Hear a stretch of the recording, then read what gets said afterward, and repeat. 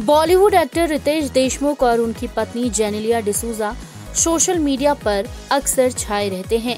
दोनों अपने रोमांटिक और मज़ेदार वीडियो अपने फैंस के साथ शेयर करते रहते हैं। इस बार भी दोनों का एक वीडियो वायरल हो रहा है।